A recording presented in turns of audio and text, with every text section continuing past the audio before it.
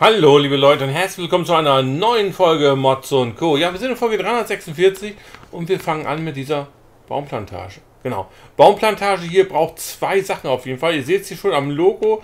Ihr braucht, lieber, äh, braucht die Revamp-Edition, braucht ihr dementsprechend. Und ihr braucht einen, äh, ich glaube, IBC Fix Tank braucht ihr, glaube ich. Das sind dann zwei Tankgeschichten oder sowas, die da dazukommen. Als Mod, damit diese hier läuft.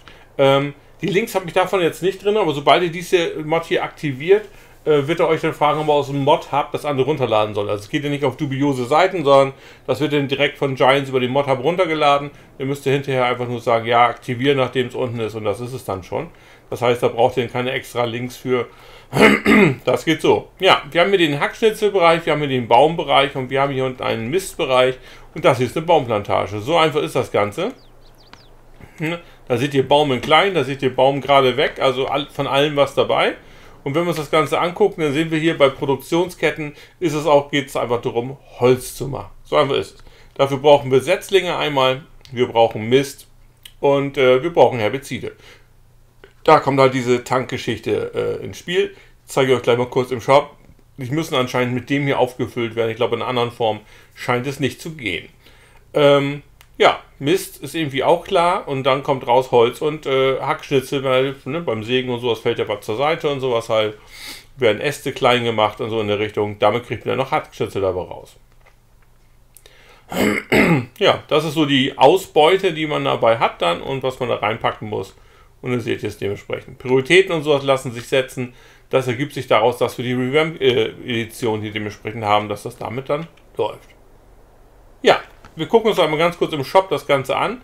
Das ist, glaube ich, unter Paletten zu finden. Und da seht ihr ja auch, Flüssigdinger gehört da auch mit zu. Aber es geht halt wahrscheinlich hauptsächlich hier um die Herbizide. Das ist schon der ganze Trick. Ja, das war äh, Mod 1. Das, was wir jetzt angucken müssen, ist, wie teuer ist der Spaß denn überhaupt?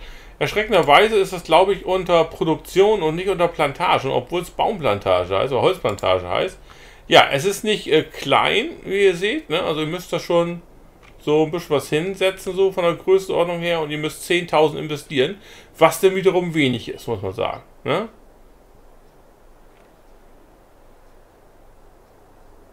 Ich weiß gar nicht, ob das vorhin gedreht hat oder irgendwas nicht angezeigt hat. Das hier sieht auf jeden Fall jetzt. Ne? Also, wenn ihr das jetzt vergleicht, das ist das, wenn man es hingesetzt hat. Oh, hier seht ihr, da sind die Herbizidgeschichten und sowas und da kommt das Holz in stapelweise. Hier in diesem Vorschaubild sieht man es halt da. Ne? Ja, 10.000 müsst ihr investieren und da kann es losgehen. Wir kommen zur nächsten Mod. Anna Burger. Ich habe es diesmal einfach gemacht und habe die Sachen hier eingeblendet. Ne? Wie viel kann ich hier wie bewegen? Wie heißt das gute Stück? Steht alles dran. Ne? Da seht HTS 3416. Hydraulisches Fahrwerk hat es auch und 46 Kubik gehen rein. Und schon brauche ich nichts mehr machen. So einfach ist es. Nein. Äh, Gibt es in mehreren Varianten. Ich habe jetzt die Variante hier mit der Schneckengeschichte hier drin. Da können wir das Ganze auch mal anmachen. Mit O äh, klappen wir das gute Stück dann aus.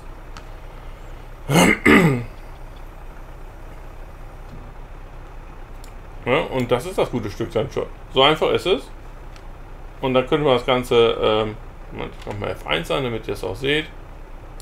Ne, da kann man halt dann den Winkel hier einstellen, wie man es denn gerne hätte. Man kann, ja, das ist halt die ne, hydraulisches Fahrwerk, man kann die Höhe anpassen. Und man kann den ganzen Winkel vom ganzen Arm hier dementsprechend bewegen. Das ist der ganze Trick. So läuft das Ganze. Ja, wir machen das Ganze mit O, fahren wir es wieder rein. Dann fährt er wieder auch an seine Ursprungsposition zurück. Ihr habt gesehen, das untere Rohr fährt auch mit, ne, dass es halt wieder in die Halterungsposition zurückgeht. Ne.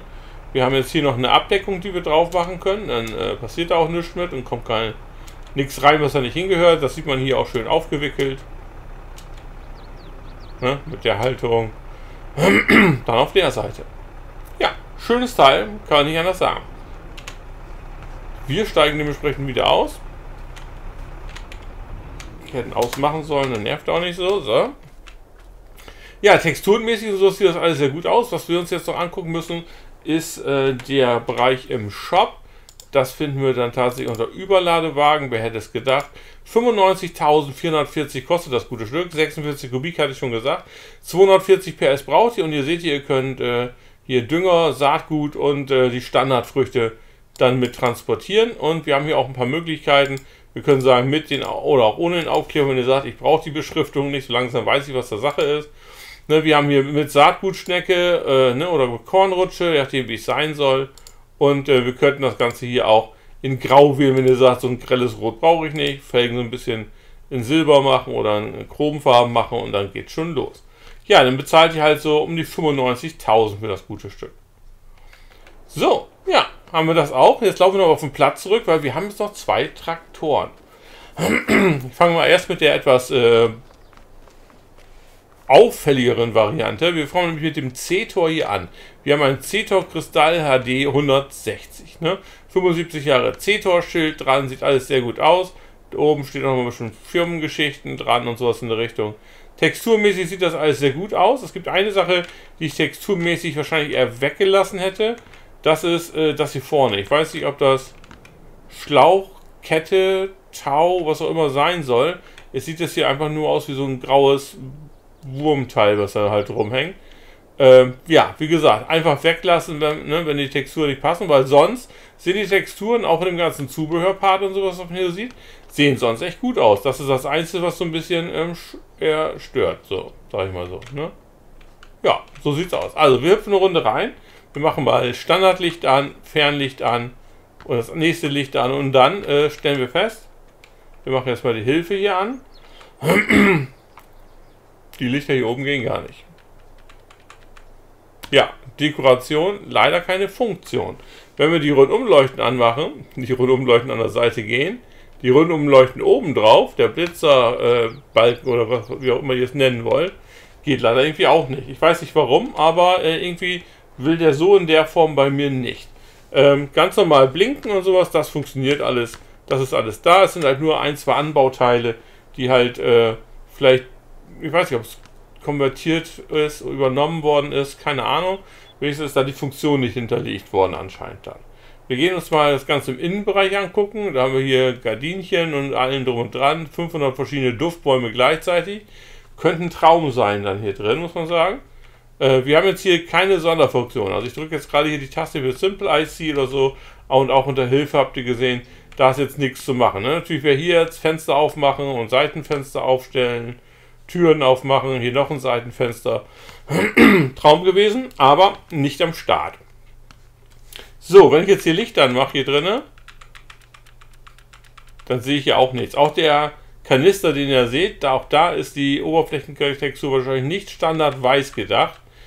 Deswegen, also ein, zwei Kleinigkeiten sind noch dran zu machen, aber die Ansätze sind schon mal super. Also da kann ich nichts zu sagen. Ne? Wir machen den Motor an, dann sehen wir schön den Anzeigenbereich hier vorne wie die ganzen Kontrollleuchten aufgehen, wie das ganze System dann hochfährt. Ne? Wenn wir jetzt hier Licht anmachen, passiert da oben auch bei der Lichtanzeige leider nichts. Armaturen leuchten etwas auf, wie ihr seht. Also das ist auf jeden Fall da. Und wenn ich jetzt mich nicht täusche, passiert hier auch an den Seitenknöpfen. Äh, bei den gelben innen drin kann ich ein bisschen was sehen da. Ne? In diesem grau abgestuften, da ist eine leichte Reaktion. Sonst fällt mir so grob nichts auf an äh, Lichtreaktion. so. Ich gehe nochmal in den Außenbereich. Wir machen das Licht nochmal aus. So. Und dann würde ich sagen, äh, wir gucken mal eine Runde in den Shop. Ich weiß gar nicht, ob wir den unter Mittel oder Klein haben. Deswegen schauen wir einfach mal. Der ist unter Mittlere. Da haben wir es. 125.999 kostet er. 171 PS hat er. Ne, manuell und Lastschaltstufen. 40 km/h fährt er. Und wir hätten auch die Möglichkeit, Reifen, äh, die Standardreifen mit Radgewichte zu haben, genau wie die Breitreifen. Breitreifen auch in der zweiten Stufe mit Radgewichte, eine Zwillingsbereifung hinten oder komplett Zwillingsbereifung. Frontlader auch, Quicke oder Hauer, also das ist dementsprechend auch alles da. Das funktioniert sonst so auch. Es gibt halt, wie gesagt, optisch einfach nur die Sachen, die mir aufgefallen sind. Und äh, ja, ne? Aber das ist, wie gesagt, mit der eigentlichen Funktion nichts zu tun. Das mit dem Licht ist schade und die anderen beiden Sachen hätte man einfach weglassen können, dann wäre es auch okay gewesen. Ne? So, ja, dann würde ich sagen, wir drehen einfach mal eine Runde mit.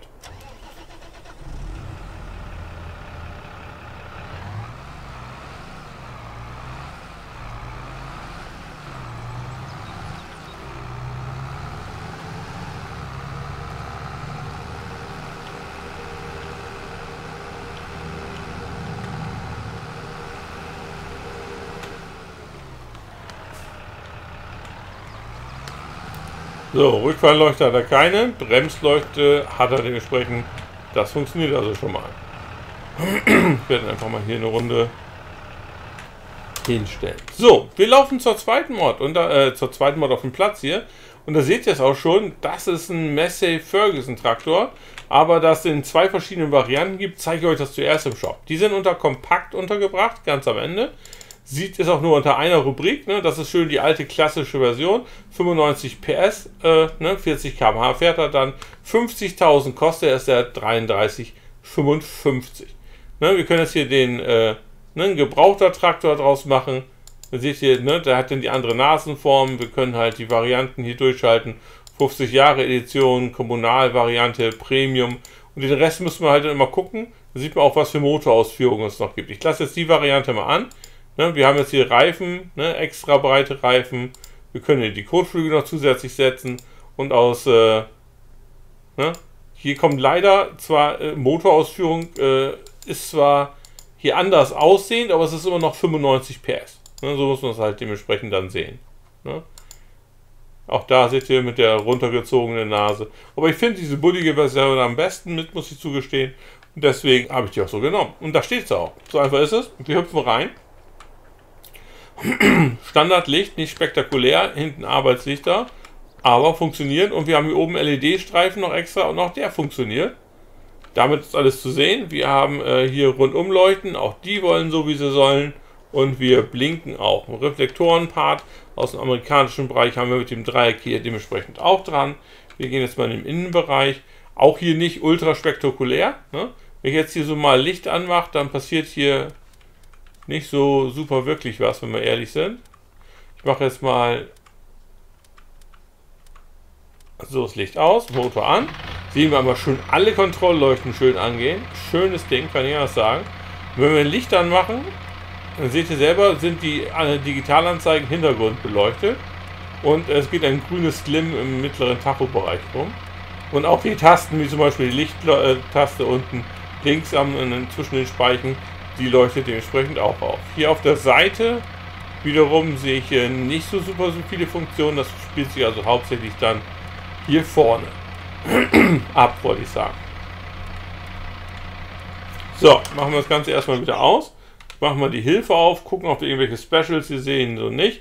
Und auch wenn ich hier die Taste drücke für äh, die IC-Steuerung, auch da ist nichts zu machen. So, wir gehen wieder in die Außenansicht und auch hier äh, würde ich sagen, drehen wir eine Runde mit.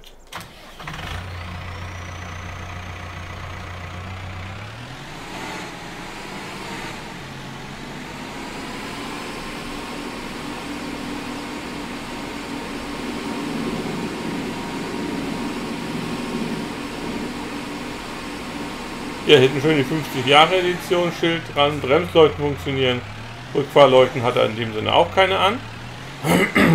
Macht aber auch alles nichts. Ich werde ihn jetzt hier